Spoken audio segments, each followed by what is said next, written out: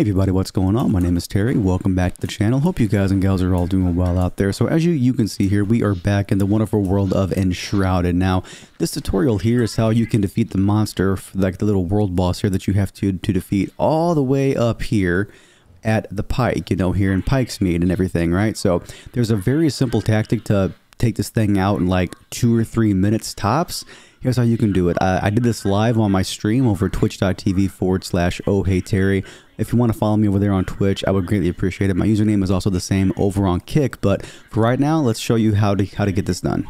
And to get up there, I gotta just go over here like that. It's the wrong way, Terry. There we go. That's that's better.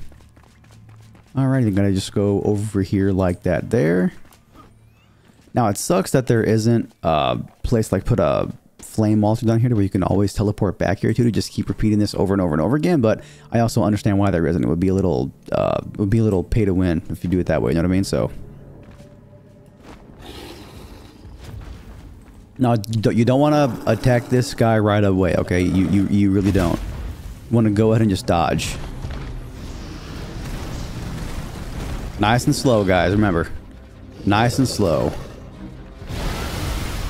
Just, you know, take your time.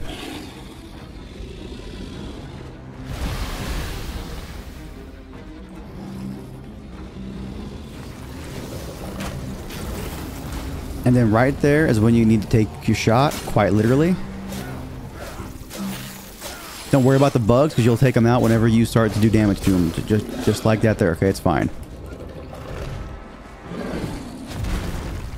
Idiot. And you don't got to really run. You got to just, you know, walk. Just get out of the way. Just dodge them. Save your stamina, guys, okay? Just save your stamina.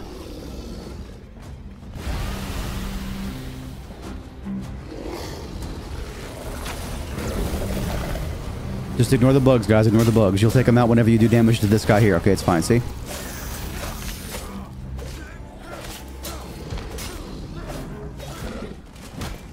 It's okay. It's okay. It's okay.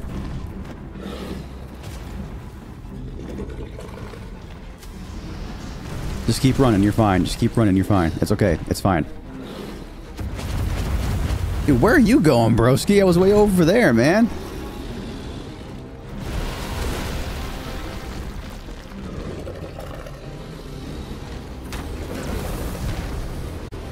Hit him in the head. And just keep going at him, guys. Don't stop. This here, should, this here should take him out right now.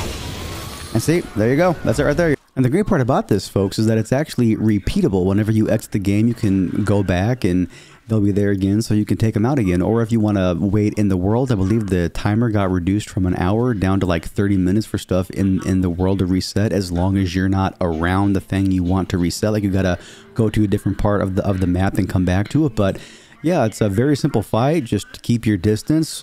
Wait until he goes to charge up his, his attack to bring out those bugs. Hit him with an arrow knock them down three or four times and you're good to go. But yeah, everybody, if you want to see more content like this here on the channel, do me a huge favor, get the video a like, get subscribed to the channel. I would greatly appreciate it. And I will catch you guys and gals next time.